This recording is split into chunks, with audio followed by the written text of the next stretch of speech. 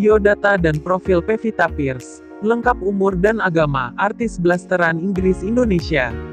Tapi sebelum lanjut, pastikan kalian sudah subscribe channel YouTube ini, dan nyalakan loncengnya atau notifikasinya.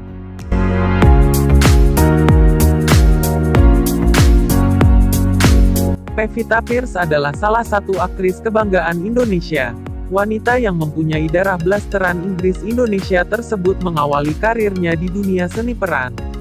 Pevita mengawali debutnya dengan bermain film yang berjudul Denias, Senandung di Atas Awan pada tahun 2006.